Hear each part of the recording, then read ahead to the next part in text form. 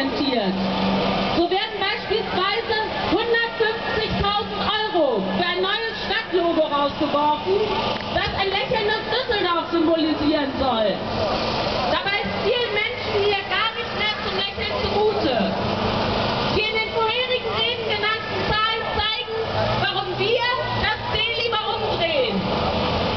Die Entwicklung in Düsseldorf ist kein Zufall, sondern gewollte Politik.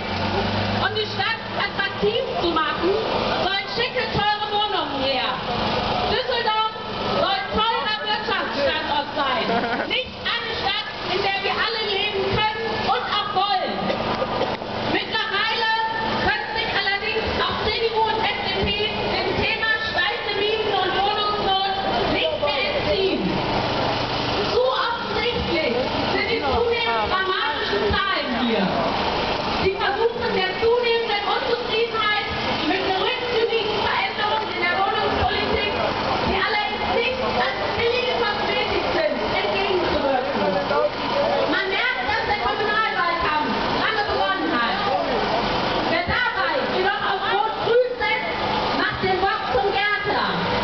Als die noch in Düsseldorf regierten, wurde zwar eine etwas sozial abgefederte Politik betrieben, die jedoch auch nicht grundsätzlich anders war. Unwahrscheinlich, dass sich so etwas in Zukunft ändert. Dafür steht auch Oberbilk, durch das wir gerade ziehen.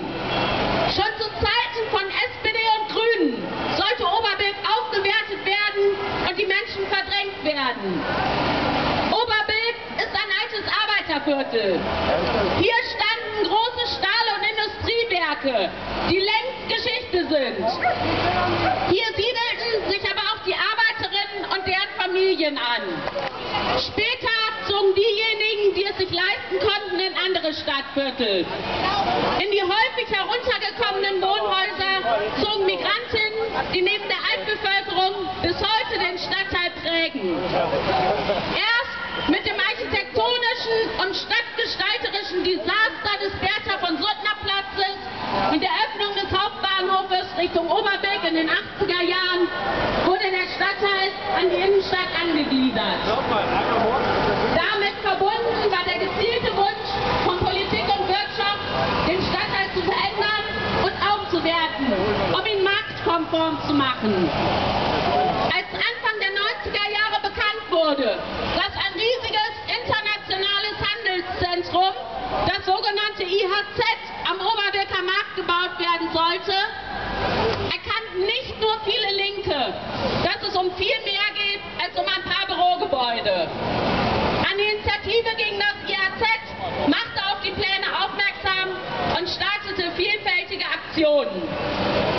Bis zum Bau des IHZ war vorne am Oberwelker Markt jahrelang das schwul-lesbische Kulturzentrum Rosamond. Der Abriss konnte trotz Protesten nicht verhindert werden. Aber das IAZ wurde wesentlich kleiner als geplant. Bis heute wirkt es wie ein Fremdkörper in Oberbilk. Mit dem Bau des Gerichtsgebäudes steht nun faktisch eine gigantische Wand Oberbilk gegenüber. Nun, mit 20 Jahren Verzögerung, ist ein massiver Angriff auf den Stadtteil zu beobachten.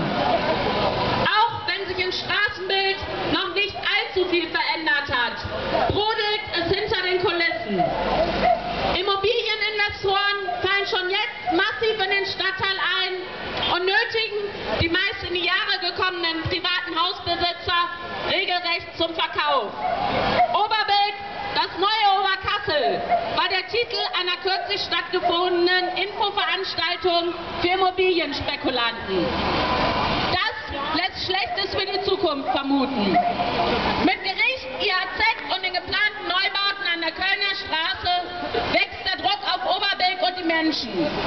Hier werden massive Spekulationsgewinne erwartet. Das geht natürlich nur auf Kosten der Menschen, die momentan hier leben. Ein neues Oberkassel baut man eben nicht neben drei Gemüseläden, diversen Imbissbuden, Bütchen mit Menschen, die davor sitzen und auch Skater am IAZ werden nicht mehr willkommen sein. Ein Prozess, der immer verbunden ist